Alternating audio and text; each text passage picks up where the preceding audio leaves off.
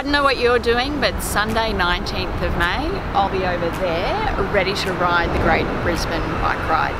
GBBR 2019, check it out, jump in now if you haven't already. Early bird closes on the 17th of April. Uh, you can enter a team of as many as five or more people. Classic and iconic course. Over the gateway to the Moggill Ferry, we've got three different distances depending on what you're up for. We've got the 110k, the 75k, or the 40k if it's your first time, get involved and check out our new training program.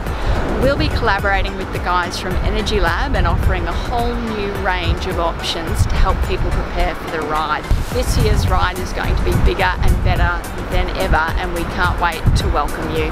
So that's the 19th of May, Sunday, gbbr.com.au.